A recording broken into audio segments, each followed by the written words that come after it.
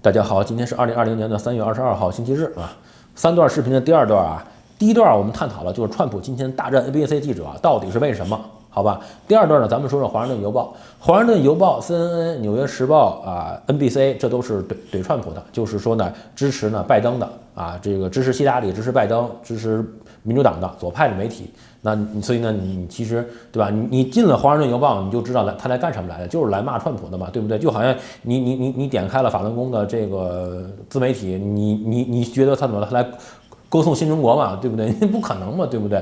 那就 有前两天有个观众特别有意思，哎，算了，不说那个了，特有意思。我又说我说人家不错，偏让我说谁？我说就不错了。那个人在法轮功的媒体里边都是算是很靠我们这边的了。咱说句实在法轮功，他们那几个人里边也有也有，还是我觉得还算是就是说，呃，比较冷静的，对不对？不是那么特别煽情的，不是每次人家都要跟你说哭的，还是有一些呢，还是正儿八经的给你讲点儿历史典故的，对吧？你不能说一个都不能容忍，你不能你不能这么搞，对不对？咱接着说啊，这个《华盛顿邮报》啊。《华盛顿邮报》的知情的官员啊披露说，美国情报机构啊一月、二月份就接连提出了全球疫情危机的机密的预警，但川普呢和国会议员淡化美国人可能面临的威胁，导致呢未能及时采取有助遏制疫情蔓延的行动啊。那我就不知道了，我不知道川普一月份把中国办了，二月份把这个。欧洲办了，这算不算呃有有有助于遏制疫情蔓延的行动啊？那今天呢，还有人给我们发来了一段视频，是这个 CNN 的，对不对？那个一月份的时候呢，川普办中国的时候呢，他们就说川普呃胡搞，这种时候怎么能把中国就就就给边境就就办沙头的 border 呢？对不对？怎么能够办边境呢？对不对？川普就知道办办边境，不让别人来啊！一月份的时候呢，其实还在骂。啊，现在呢又开始指责了，指责川普呢这个边境呢关得太晚啊，所以呢他们就就这么个情况，对吧？然后呢说什么情报单位自一月起就提出警告了，他说川普呢当时也没有想到呢会变成这么厉害，然后呢就是说当时呢没有拿出行动来说整个体系都亮了红灯了。我觉得全世界除了金正恩，川普是第一个拿出行动来的，你你剩下还有谁？他把整个中国当疫当当疫区办了，被。华春莹怼得一头包的时候呢，那些人都都帮着华春莹说话，对不对？这些媒体都在帮华春莹，华盛顿邮报啊、纽约时报都在说，川普怎么能能这么干？这是种族歧视，怎么能把中国人都办了？对不对？加拿大那时候也笑话他，说我们不会这么做的，我们不是那样的国家。啊，加拿大现在也把边境办了，对吧？两个月之后，川普是一月办的，加拿大是三月份。等了两个月之后呢，最后你发现还是川普做的对，对不对？好，那卫生部部长阿扎说，一月十八号前都未能与川普呢讨论这个新冠呃病毒啊。问题是什么呢？一月二十三号中国才封的城，对吧？所以一月十八号之前，说句实在的，对吧？我们也是到一月二十号，我们拿到了这个。国内这个他那个机密文件，我们才知道真实情况，对吧？说实话，一月二十号之前，我们也没有太担心，我们觉得反正就跟 SARS 差不多吧，对不对？到了一月二十号呢，是他们把那个当时卫健委那个秘密文件怼怼给我们之后呢，我们看到之后我们也吓一跳，对不对？我们 一看，哇，这怎么这原来是原来是这么个情况，我们也才知道，对不对？所以一月十八号之前谁也不知道，我也我也没有恐慌，对吧？我也是从二十号开始我才有点这个。着急的，对不对？所以呢，你现在说一月十八号之前这东西怎么说呢？对吧？说等他有机会和川普通电话时，川普还打断他，询问有关电子烟何时能上市的问题。然后呢，说 CDC 呢，国家免免疫和呼吸疾病中心的主任呢，呃梅梅森尼尔呢，告诉媒体说，新冠病毒呢可能已在美国社区之间传播。说民众日常生活恐被人种打乱。说川普打电话给他抱怨这个梅森尼尔呢，吓坏了股市。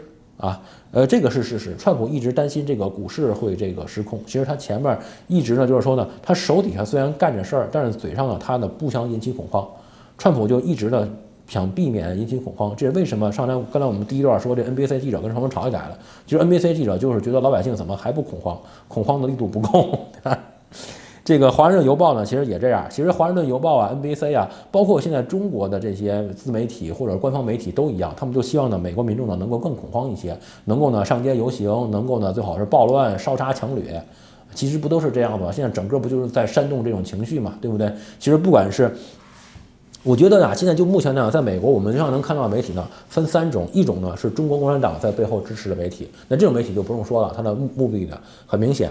另外一种呢，就是像什么华盛顿邮报啊、NBC 啊、CNN 呐、纽约时报啊这种，就是说呢，呃，民主党那边的，那很明显就是今年十一月，只要我们能把川普干掉，我们能当总统，不惜一切代价。那另外一种呢，就是 Fox 啊、G NBC 这种，就是说向着川普的，完完全全向向着川普。对不对？向着共和党这边的，好吧？那《华盛顿邮报》反正就这么个意思，对不对？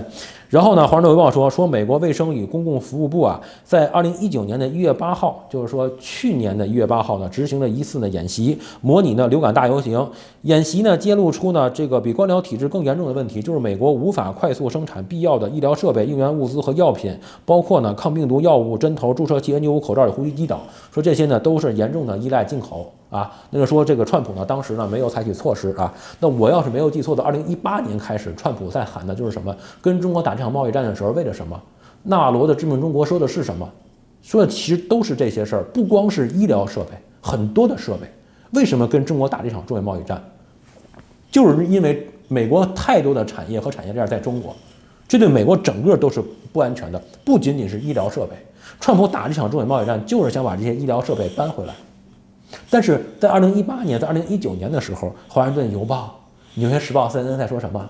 说全球化已经不可避免，川普是个神经病，只有傻逼才会相信这些基础设施、这些工业、这些工厂能够搬回来的，他是不可能搬回来的。他们都觉得川普疯了，告诉川普，forget about it，忘了他吧，制造业不会回归的。他们 gone，they are gone，他们走了，他们再也不会回来的。你可以跟中国打，让他们去转移，但是他们绝对不会回到美国的。这是二零一八年、二零一九年初的时候，他们在跟川普说的话。那个时候，他们不知道医疗设备、应援物资、物品这些东西大量的依靠中国吗？他们知道，但是他们告诉告诉川普，你不要想了，他们回不来的。然后现在呢，开始抱怨川普，说川普你怎么不跟中国打一场中美贸易战呢？为什么不让这些东西回来呢？你为什么不解决这个？他妈的，川普不再解决问题，谁来解决问题？二零一八年、二零一九年跟中国打的最凶的是谁？在后面拖后腿的是谁？现在出来抱怨这种东西。